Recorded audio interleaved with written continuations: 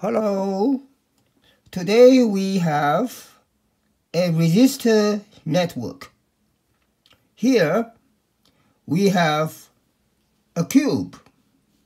Each side is a 1 ohm resistor. I label the corner A, B, C, D. This is a 12 resistor cube circuit. What is the question?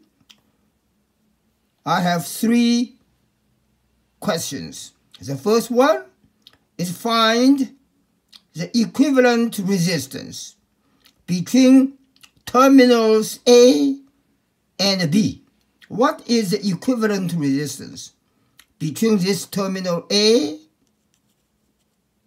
and B. What is equivalent resistance between the terminals A and C? What is equivalent resistance between this A and C? The last question, what is equivalent resistance between A and D between this point A and this point D. I have the answer there. The answer for this is 7 over 12 ohms. The answer to resistance AC is 3 over 4 ohms. And the answer to AD is 5 over 6 ohms. So this is a very uh, popular questions.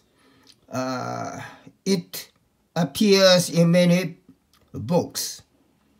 Uh, the, the answer, you can find the answer uh, by going to the internet, maybe uh, Google search or something like that. But it is quite interesting that you try it yourself. So, that's it for today. It is like a practice questions. Thank you for watching. Goodbye.